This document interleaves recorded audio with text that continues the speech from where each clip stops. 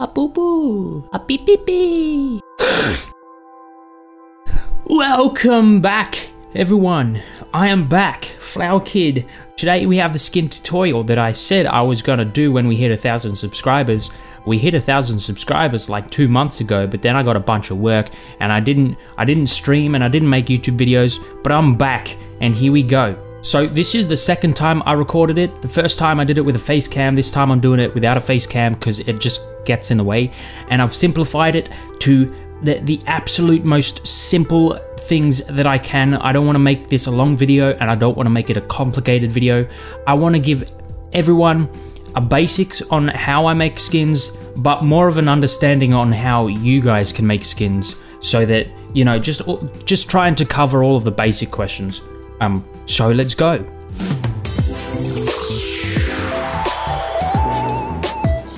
Now this skin tutorial is going to cover most of the basics. I don't know exactly how the files work on a Mac computer or a Chromebook. I know that it is possible, but I can't show you how because I don't have either of those. I'm working on a Windows computer. The biggest issue that I know that those two operating systems have uh, when it comes to making the mod file is the zip that, that That's what this whole thing is in, so the way to make a mod is you need to make a zip. So let's get let's go into tutorial.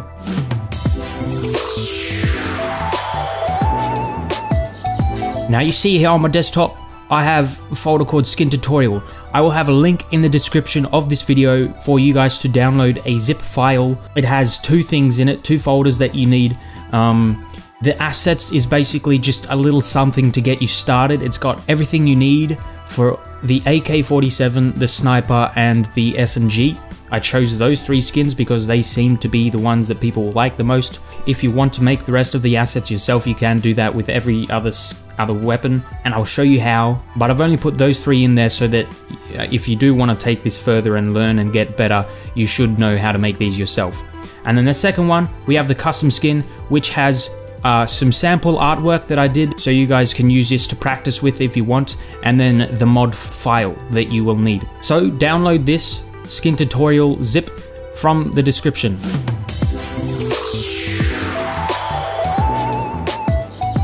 Now, making a custom skin is, is a couple of steps. You need to start with your base to work on once you've decided what weapon you want to make a skin for. So if we go into the assets folder here, we can see we've got a list which has all of the uh, all of the weapon numbers and what what those weapons are. Um, and you need to know those because you can't change the names of anything.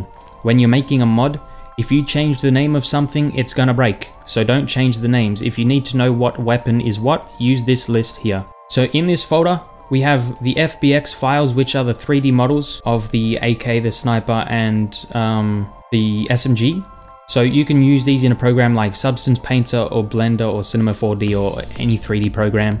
I'll show you how to use it in Substance Painter a little later in this video. The main thing you guys probably want are the textures and the stencils. Don't forget the AOs, keep these, never delete them and always use them, but you want to probably start with the textures here. So these are the base textures of the weapons. If you don't know how textures work, every 3D model needs to turn into a flat square to be able to paint on. And that's what these are. And so to make a skin, you need a file that looks exactly like this. The colors can be different, the design can be different, but the layout of the of all of the shapes in all the places needs to be exactly the same. So this is the sniper, this is the AK-47, and here is the SMG. We then have stencils and this is what everyone asks me how I make or how I get these or find these. I made these myself and you need to make the other ones yourself if you want to use more of them. I'll show you how to, but you do need a 3D program. But I use Substance Painter so that's what I'm going to show you guys how to do. So in this folder you have the AK, the Sniper and the SMG. And then last but not least we have the AOs, that stands for Ambient Occlusion. You don't need to know what it is, you just need to know that you're supposed to use these and don't forget to use these because they make your guns look good. I've given you again the sniper, the AK and the SMG. If you open them, you can sort of see they look like the texture maps except it's all black and white and some bits are darker and some bits are lighter. Basically fake shadow. So if you don't put these on your gun, your gun will look really fake and cartoony. But once you put these on over the top of your texture, it'll look more realistic and nicer and shaded and very good quality. So don't forget these. Alright, so guys, that's uh, that's it for the assets folder. That's all you need to know about them. Uh, let's let's let's dive in to a skin. Let's make a custom skin.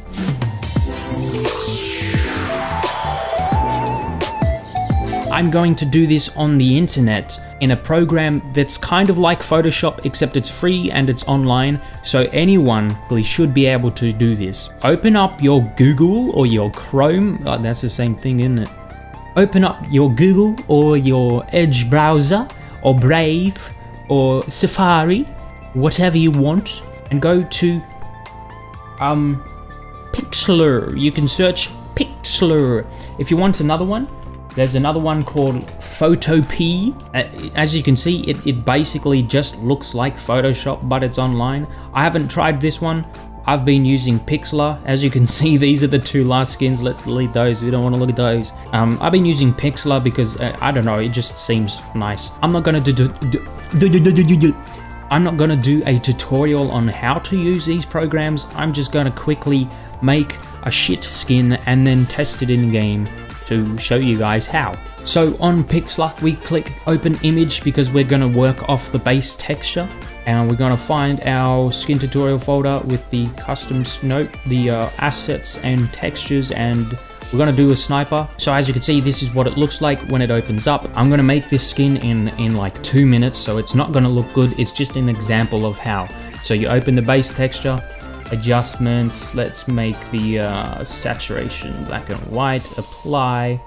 Do some levels as well. Um, I wanna, I wanna actually boost it. Uh, okay, this I'm gonna make it pure white. So now we're just gonna make a new empty, empty layer. I'm gonna get my pen.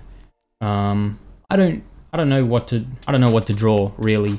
Uh, I have an idea. Select the color I want. We'll do like a pink. Do some wavy stuff and then and then we'll make a new layer and we'll do we'll do a we'll do a, a blue so this looks horrible. It looks just horrendous. Don't do this. So now i'm gonna get the liquify tool and i'm gonna i'm gonna it's a bit laggy because this is this is on the internet so ah oh, look at that. Look at that.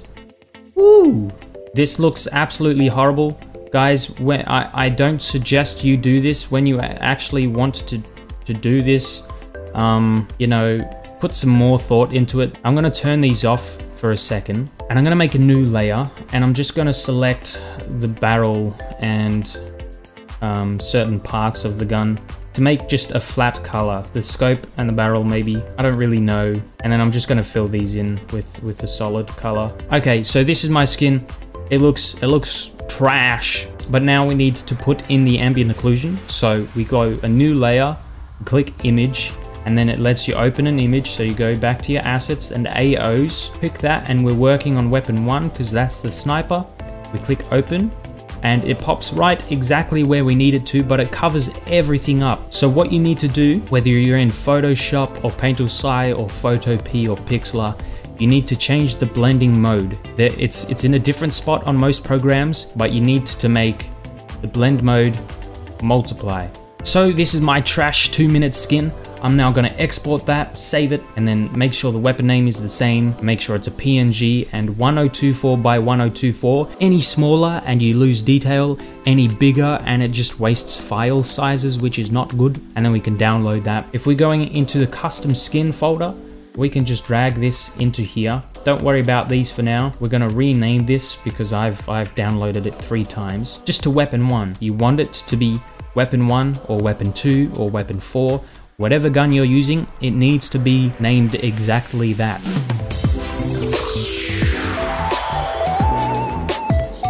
So now it's time to put this texture into the mod and test it in game. If you open this zip, you'll see that it has textures, weapons, skins, but nothing else in it. Inside the skins folder here, this is where you put textures if you want to make something glowing or animated or breathing effect, but I'm gonna show you guys how to do that later. If we open this and go in the textures and then the weapons, you can drag weapon 1 inside the weapons folder. It needs to be in the right spot. Not in the skins, but just in the in the weapons area. Weapon 1, weapon 2, they go in this one.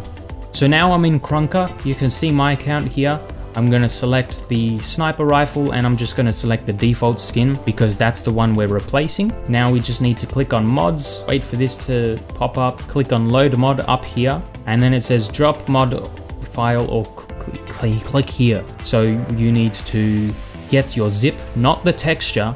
You need the zip folder with the texture inside it and drag that into there and if it works it should say success and if it doesn't it won't. So you need to make sure it says success and you can see my horrible sniper over here.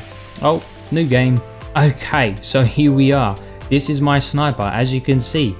It's uh it looks a bit funky um, but you can see it's got the blue scope and the blue barrel like I wanted. Um, and it's got the wavy effects all over it and you can see the fake shadow and it's got the fake shadows you can see on the handle and the scope in the magazine so this is how you make and test a skin. Didn't miss a single shot.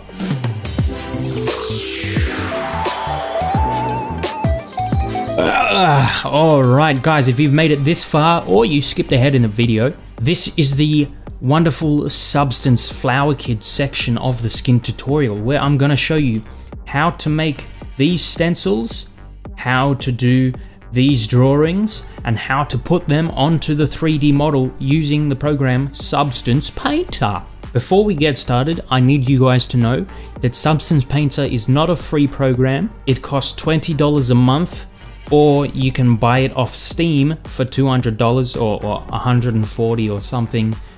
Uh, it might be cheaper in USD, but you can buy it off Steam as a one-time payment or you can pay $20 a month depending on which one you want to do.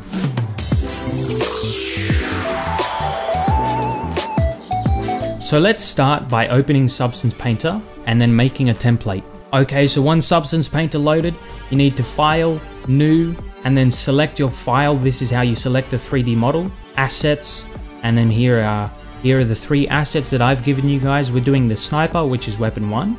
So we open that, Document Resolution, 1024. I like to put this on 4K, but you need to remember to when you export the skin 1024, but I do 4K. And then just click OK, don't worry about these settings. The weapon will load up and you can do this in Photoshop or Blender. Blender is a three Blender is a free 3D program as well. So what you need to do is go to the side of the gun. On this program, I hold shift to lock it in place and it snaps to the top or the side or the back or underneath or whatever. If you hold shift, that's what that happens. In Substance Painter, if you don't know how to rotate a camera or do a control or something, you can just hold down Alt and a little thing will come up down the bottom you see there. It'll tell you how to rotate your camera or zoom your camera. And if you do the same thing but you press shift, it'll come up with a different different controls. So that's that's a way you can see all the different controls is just by holding shift or control or alt and it'll pop up. So you get the side view and you need to make sure up here you change it from perspective view to orthographic view.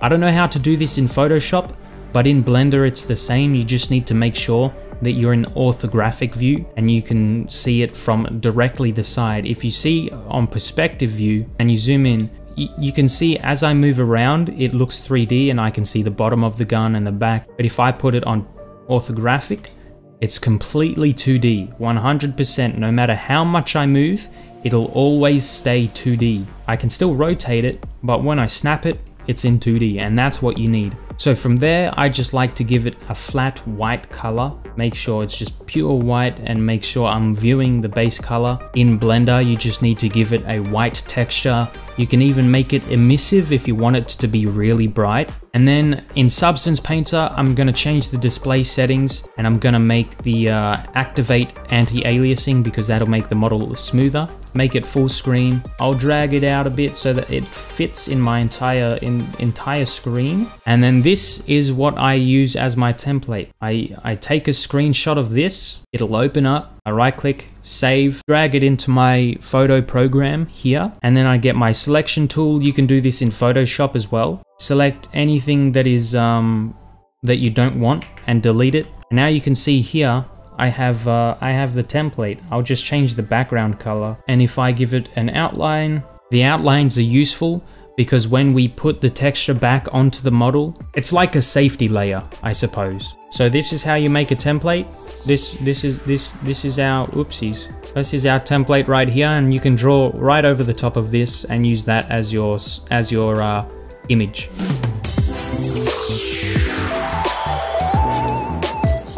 I've given you three templates to use. You can just click and drag the sniper, and look at that. Look at that. Look at that beautiful template. You have a sniper. I will select this file and do the multiply thing again because multiply basically means anything that is white is see-through and anything that is dark is not. So if I draw, as you can see, anything that is white on the gun is completely see-through and then as it gets darker and shaded, it covers that up as well. So with my template and the image that I've attached in in the folder uh, this this thing that I drew drew before there's two of them. If you if you take this sniper and put it over the gun over the over the, the, the what is it? Over the uh, uh, dude I'm actually having a brain fart right now. Over the drawing that you can see here look at that. Look at that. Look at this. Isn't that amazing?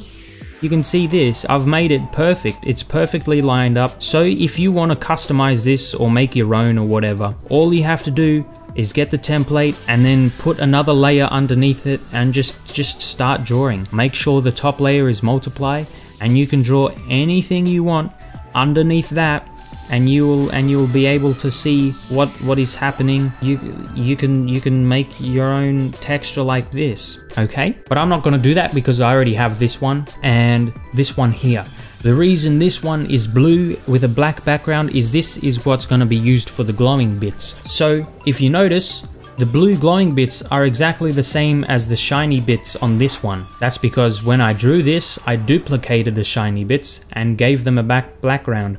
And you want to save both of them separately so that you don't lose anything. But if you look at both of them, they line up perfectly. And when you're working with glowing things in 3D applications, you need to make sure the background is always black. The reason for that is anything with color will glow. So if you don't want something to glow, you need to make it black. That's why the background is black and only the blue bits are showing, because those are the bits that are going to glow.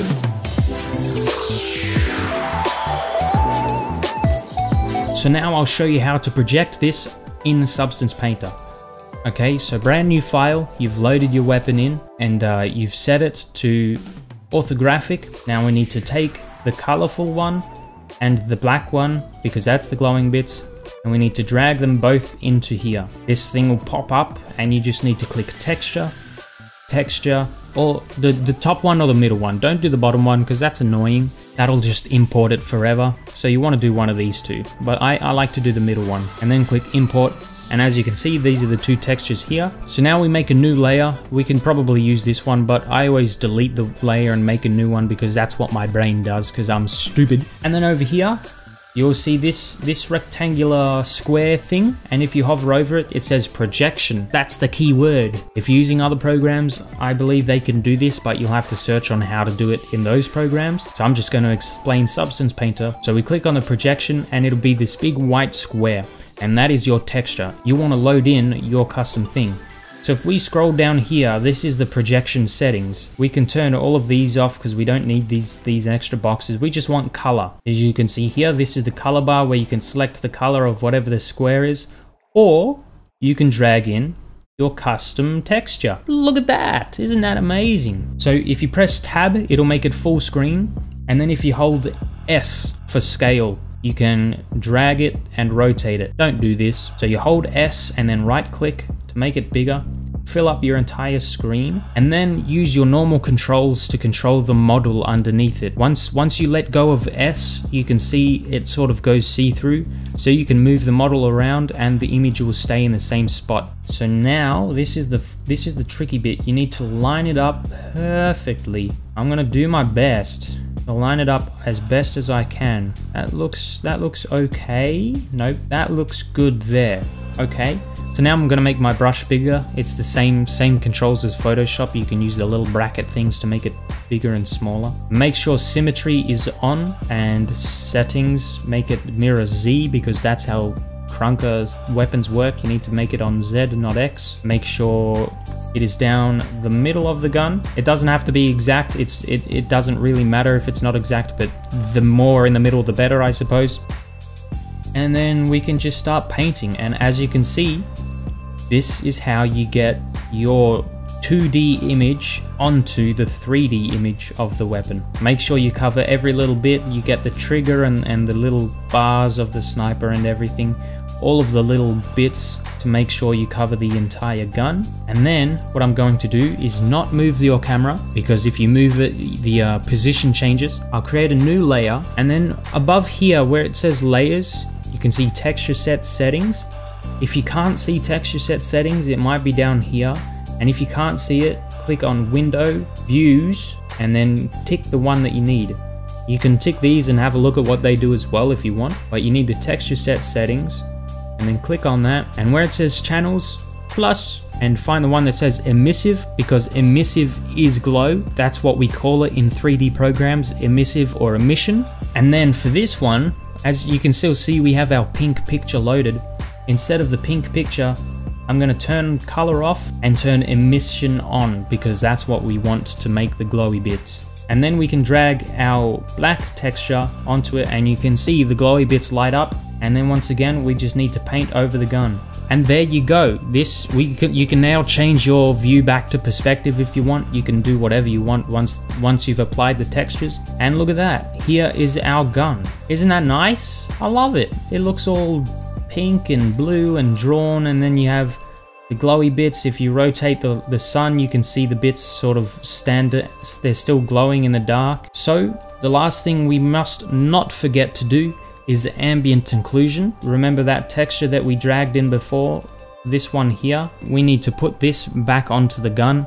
You can do this in two ways. You can either export this texture as it is and then take it into Photoshop and put it on top in Photoshop, or you can just do it directly in this program. By going to the texture set settings and click bake mesh maps and leave all of these settings the same. It doesn't matter. If you want to make this number higher to get a better resolution you can do that. You just ignore all of this leave them ticked and then just click bake. Once it's baked the gun will look a little bit different. It'll look a little darker maybe but that doesn't matter we just click new paint fill layer and then we find here in our shelf we need to find the bit where it says textures. Here we are. And under all of the textures these are the things that are just baked. This one this one this one this one. But we only need this one. As you can see here it's the ambient occlusion. It looks a little different but it's the same thing. And we just drag this onto our base color.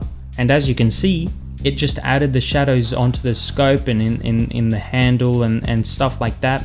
So if we change this from normal to multiply, and look at that, look at that, it adds the shadows back onto the gun. Oh, it's Flower Kid from the future. Hello, I made a mistake because I am stupid. I told you before I'm stupid.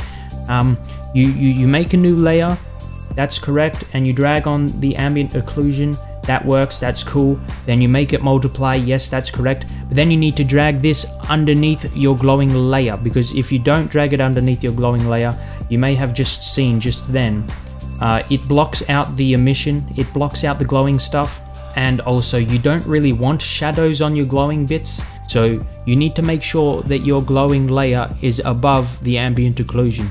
Okay, bye. So once that's done, all you have to do is file, export textures, and it'll bring up this big ugly dialog thing. You need to just select your output. I'm going to put it in the custom skin folder. Click select. PBR metallic roughness. I've made a custom one for Krunker, but by default, it's PBR metallic roughness. You can just leave it on that and then delete the things that you don't need. File type PNG, and then make sure 1024, remember in Pixlr how we had PNG 1024. And then for Substance Painter, make sure the padding is dilation plus transparent and make this number 1.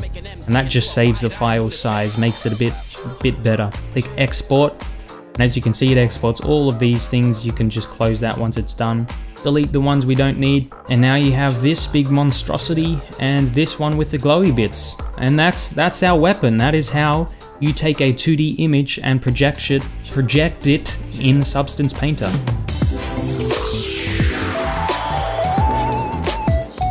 Now to test this in game, what you normally would do is make sure that it's named weapon 1 and weapon 1E, but because we're going to test the glowy bits and, and the breathing effect, we're going to choose a different weapon. So I'm going to choose the Magma Core because that is the sniper that I always use for this sort of stuff. And the Magma Core is weapon 1 underscore 108 and that's all you have to do. And then for the emission, weapon 1 underscore 108 underscore E and then we can drag those into our custom skin mod textures, weapons, not in here, but in the skins folder because now we're replacing a skin. We drag that in there click OK, and that's all we have to do.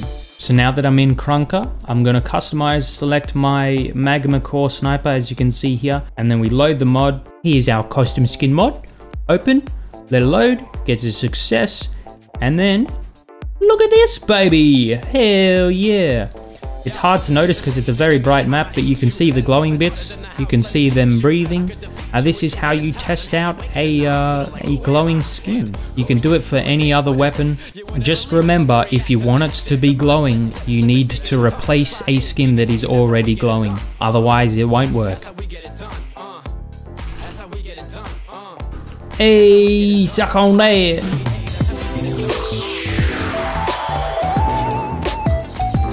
So if you join the Krunker Bunker Discord, if you're not in here already, you can open Krunker and there'll be a little Discord symbol up the top and you'll see all of these different channels down the side. I've, I've hidden a lot of them because I don't use them, but you need to find the one that is mod info. You click on this, you select this and you download this, you, you copy this and paste it into Google and then it will download the entire game with all of the textures that you need. And it, it'll look like this. You open it up, it'll be models, sound, textures. You can get all of the all of the weapon models in here and all of the textures, weapons, skins, and here are all of the weapon skins. So if you extract those, you'll get all of these in here. So if I want to replace an SMG and I want to make sure that it's glowing, I just need to find one that I know already has glowing parts on it. So here's one that I made before. This is the SMG Wild Claw.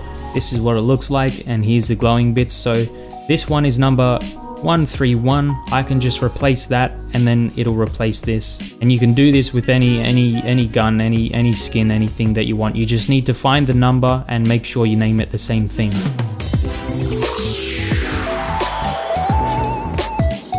And the last thing to get your gun into Skin Vote, the community content where people can vote on your weapon, thumbs up, thumbs down. There's a lot of stuff in here.